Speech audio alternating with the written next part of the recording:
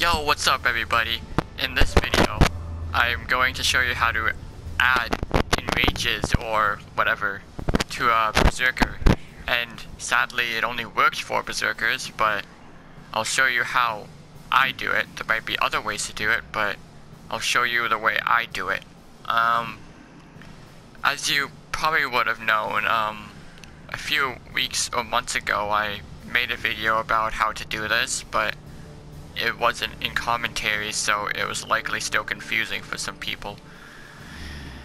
Okay, so what you want to do is get a berserker first. Um, this is not a good one by any means, but I'm just going to use him as an example.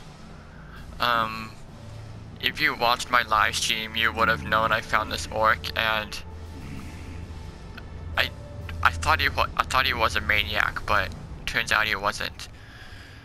So let me just uh, capture this guy. But oh my goodness, that live stream. Um, I don't know what was wrong with me, but I kept dying in online sieges. You know, Gorgoroth just seems to be bad luck for me now. like, we clear out the orcs easily, but I keep dying in the Overlord fight. Okay, so... By the way, doing this is going to take a lot of Mirian. Oh, the coins, so make sure you have a bunch once you find an orc you want to use this on. Oh my goodness, someone conquered my fort again. Stop it. It's not very nice. Get up, you idiot. Okay, so now once you find your berserker, obviously just uh, capture him. And not kill him.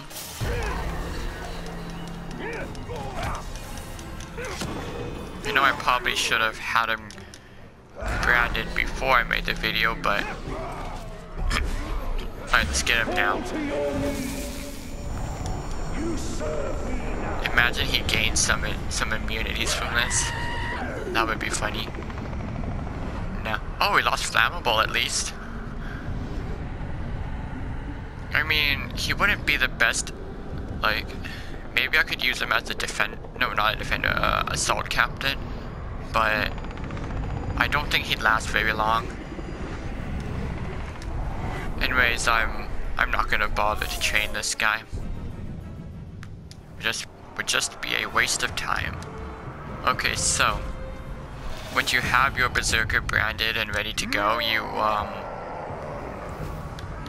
you want to look for a certain epic trait. It's this one, the one that costs 4,000. Uh, the champion epic trait right here. It's right next to the legendary, so... And to uh, find out where everything is, just, you know, select or command the orc with triangle, whatever device you're on, and then go into training orders, and it will be right here. So just give him Epic Rage, and you should see, yes, a fifth enrage, which is Bloodlust.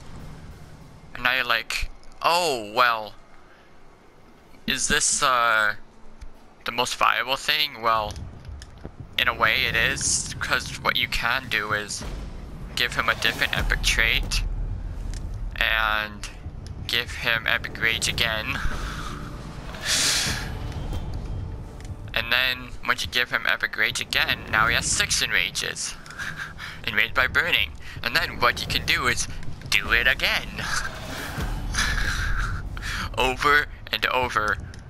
However, after a while, it's gonna stop working. So, yeah, and now he has seven. Enraged by Frost. Not bad, not bad.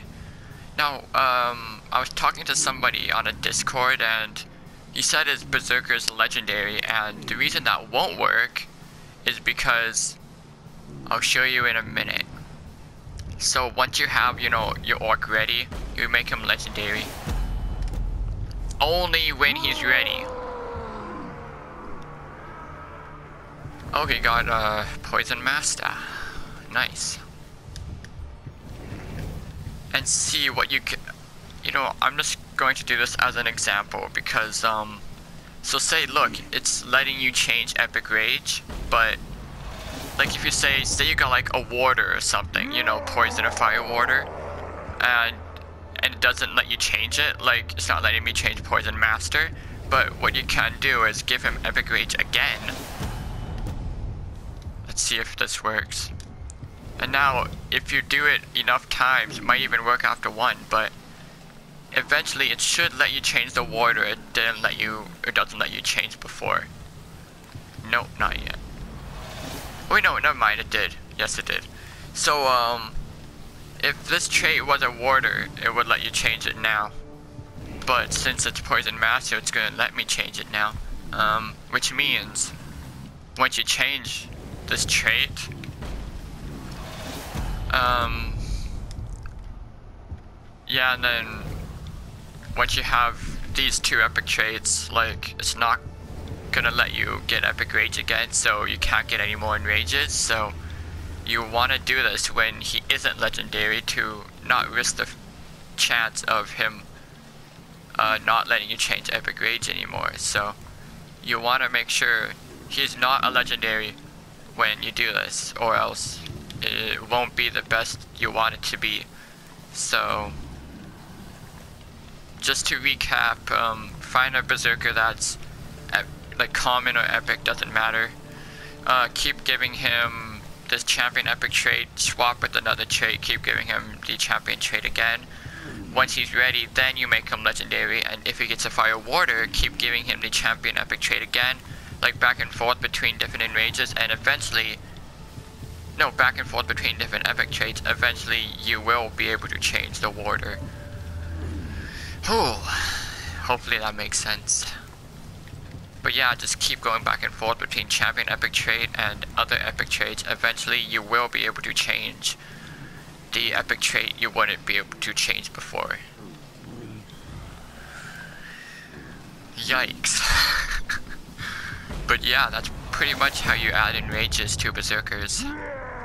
And also change the other epic trait.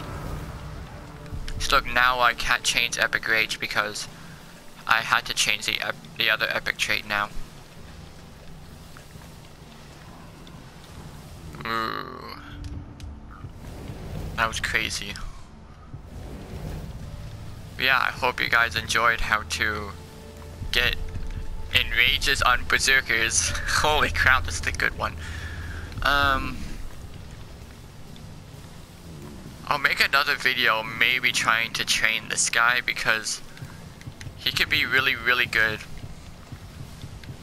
And he looks cool. But yeah, that's uh, pretty much how you add Enrages to Berserkers. I hope you guys uh, enjoyed and hopefully you do this for yourself.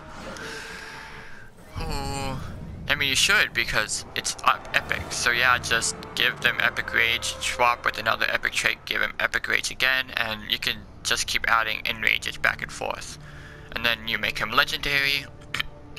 if he gets a trait you want, good for you. If he uh, doesn't, just keep giving him epic rage again, and you'll be able to change it eventually. Alright, I'll uh, see you guys in the next video. Uh, have a good day or night, depending on where you are. Bye.